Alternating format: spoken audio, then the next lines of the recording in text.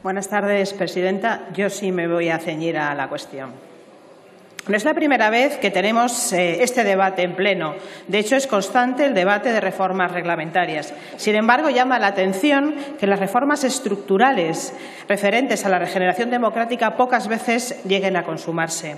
Tenemos como Poder Legislativo la imperiosa necesidad de avanzar en las modificaciones necesarias del reglamento del Congreso que sanen y superen no solo los evidentes retos de la vida parlamentaria, sino que avalen en la calidad democrática de este país. Lo que se reclama con esta reforma, en definitiva, es que se hagan efectivas las herramientas y mecanismos para el Poder Legislativo frente a la expansiva acción de Gobierno. Y ahí estamos de acuerdo. El fondo de esta iniciativa señala una demanda de apertura democrática y de flexibilidad. Una flexibilidad que tendría que ser la norma frente a la vieja política de la imposición de las mayorías absolutas. Entendemos que aún existen recelos históricos que frenan los cambios en el reglamento del Congreso. Sin embargo, si realmente queremos caminar hacia la democratización interna de las instituciones del Estado, necesitamos herramientas parlamentarias efectivas que se conviertan en instrumentos válidos y adecuados para dar cumplimiento al mandato de la representación. Hoy este Parlamento solo tiene herramientas simbólicas frente al Gobierno, que no tiene obligación de cumplir ninguna de las proposiciones no de ley que se aprueban aquí.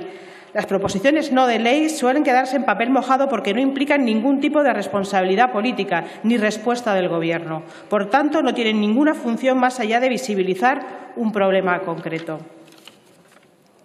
se han convertido en una carga sin sentido que se traduce en un desgaste institucional y en una pérdida de legitimidad del poder legislativo. Sin embargo, la naturaleza de las proposiciones no de ley también es la de manifestar la voluntad de la Cámara, soberana y legítimamente elegida. Si existe un consenso entre los grupos parlamentarios que determinan la voluntad, eh, la voluntad mayoritaria de la Cámara, el Gobierno debería adecuar su acción a esa voluntad. La voluntad general de la Cámara no puede reducirse a lo simbólico, a una mera declaración de intención. Pensamos que con esta modificación se pretende devolver a las proposiciones no de ley una esencia original de su función en cuanto al impulso de la actividad de Gobierno. Desde nuestro Grupo apoyaremos esta iniciativa porque creemos que es necesario revalorizar esta figura y dar una vinculación efectiva a su aprobación, fruto de la expresión de la mayoría de las fuerzas representadas en la Cámara, realizada mediante el voto tras su deliberación.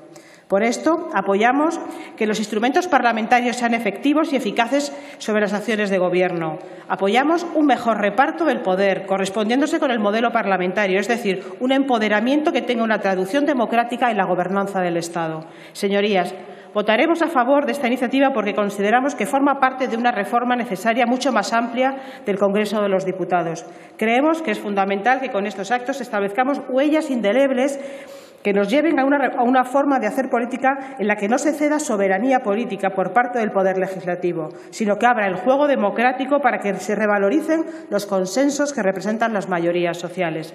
La democracia es un proceso en construcción constante, infinitamente perfectible, y necesitamos dar pequeños pasos como este para hacer avances mucho más importantes. Muchas gracias.